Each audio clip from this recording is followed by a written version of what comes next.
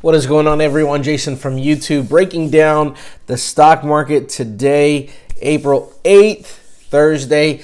So, as we talked about several times over the weekend and even Monday, Tuesday, and yesterday, that we are expecting a lot of sideways trading, and so we've been seeing that. So, uh, somebody asked, like, what, what, exactly do you mean by sideways trading? So we're going to break it, go into that a little bit, and then uh, stocks I'm looking at, stocks that I'm not actually going to make a full video on, but I'll go ahead and tell you now uh, things that I'm looking at buying, and then kind of I want to say rebalancing the portfolio because I'm not doing a whole lot of selling, but just things I'll be looking to add over the next two days. So as always, it's not financial advice, not financial advisor just some dude from YouTube. All right, so uh, I've been looking at uh, Canoe G O E V for I don't know, probably three months, and uh, I did not want to chase it. And I felt like I was I was already chasing enough stuff in January and February. I did not have what it takes or what it took to add another stock and chase it. So obviously over the last six weeks it's gotten completely bought or uh, sold off completely beat down and so i actually am adding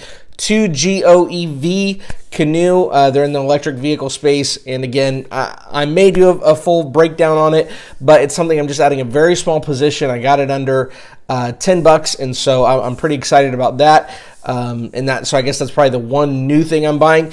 Everything else I'm just looking at, um, you know what's what's down for that day. So if Microvision starts dipping down, you know, close to fourteen dollars, I'm going to be adding that. If you know Square were to take a dip under 200 again, I, I would be buying that. You know, it just you you look two weeks ago, I'm, I'm loading up on Square, talking about my deep conviction for Square, and I look today and it's like, oh my my goodness, you know, Square's up.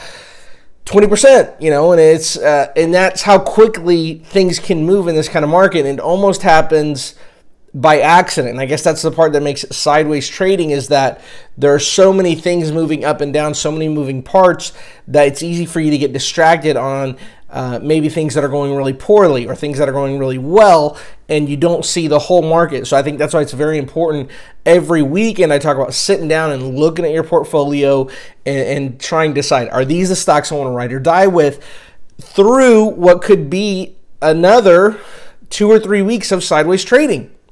Now, the last six, seven weeks been completely, you know, bear. We've gotten completely beaten up. So that's a different mindset. But right now, there are going to be winners.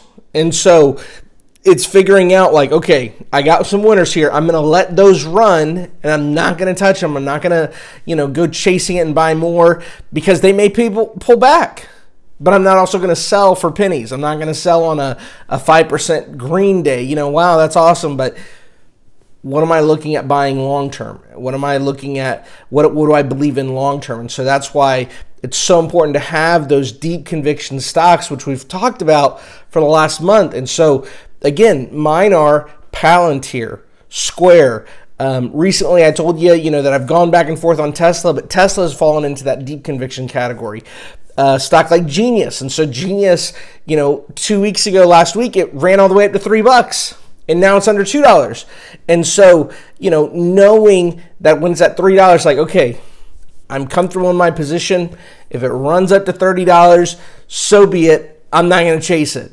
And then it drops back down to two dollars, and not say, "Oh man, I missed my mark. It's time to sell it all." It's no, it's under two dollars. This is a good buying opportunity again for me. And so, having those price points and having uh, the reasons why you're investing in those stocks is so important because as I look at the market, you know, we're celebrating. Uh, I think the Dow's hit a new high, and it's like, how's it hit a new high? Like we've gotten we've gotten completely beaten up over the last six weeks, and yet we're at a new high.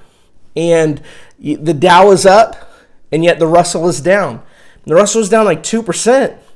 Nasdaq was down a little bit, and so. It, you know that that's the part I guess that, that makes it shady. It makes it uh, just interesting. It makes it complicated, you know, whatever word, there's so many adjectives you could use to describe the market right now because you look in one sector and maybe two or three companies are up and two or three companies are down. And you look at your total portfolio and you go, well, it looks like I ended the day, you know, up half a percent. And one company's up 3% and one company's down 3% that are in different sectors or maybe the same sectors are usually things that move together. And so it's so important right now to when you have the time in the middle of the day, lunch break, end of the day to, to not go chasing those things that are green because they may pull back tomorrow. That you may see a lot of red today in one stock. Okay, that's what I'm doubling down on. And the next day, that stock may be green. Good purchase for me. And if something's green today, okay, I'm going to be comfortable with my position because it may be red tomorrow or it may run green for another few days. And I know it's like, dude, you are way talking in circles. Like, I, I get it. But that's the market we're in. That is what it means to trade sideways, where your favorite stock may be up 1 or 2% and then down 1 or 2% over the course of this week. And it's something that we can't eat. Like, you know, the last six weeks we got beat up, it's like buy anything you want, everything's on sale. Or the six months before that, it's buy whatever you want because it's all going up. But right now, for the next, you know, I could see one to three weeks, maybe up to four, of this trading sideways. And so, my overall, like, what am I doing right now more than anything? I'm just sitting back. Even with Canoe, like, you know, normally I talk about buying at 3% of my total portfolio. I mean, I, am talking about maybe half a percent just because I want to keep cash on the sidelines because while I think we are entering a big bull market and I think things are going to go very well for the next, you know, 3 to 6 months, I also want to keep money on the sideline just in case that big black swan catastrophic events happens where maybe Fauci comes on and talks about oh the virus is worse. Oh the you know the vaccine didn't work or whatever and the stock market may get killed for two days inside of a big uh, bull market so i want to be able to have that buying opportunity um, or even today. Jerome powell speaking. So anytime jerome powell speaks who knows what's going to happen? And so while i did buy a little bit of canoe this week i also see myself waiting today around lunchtime when jerome powell comes to speak and see okay is there going to be anything worth buying? Or, as I told you, I talked about uh, that I'm starting to look at index funds more now.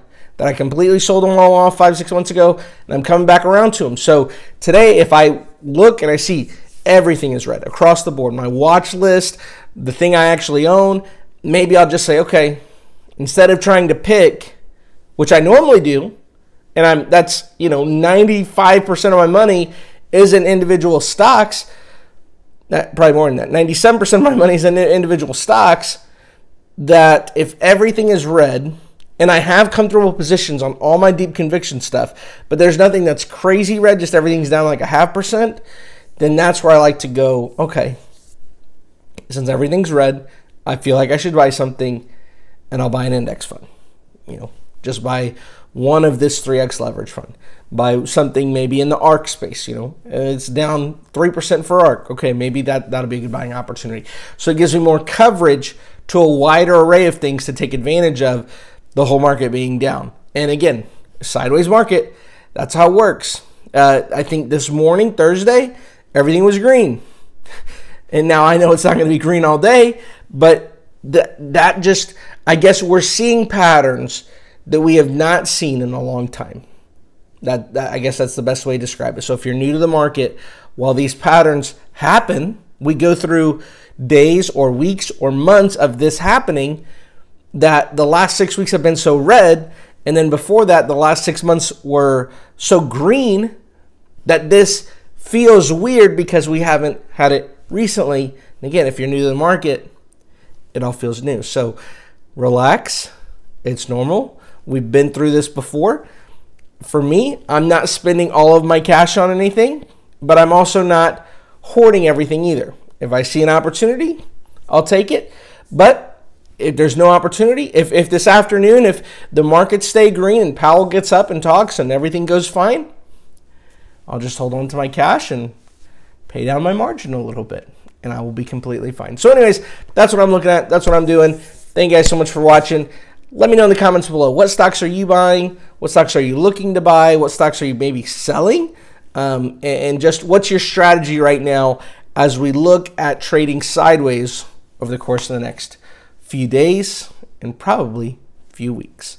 All right. Thanks you guys again so much for watching. Have a good day, and I'll see you all in my next video.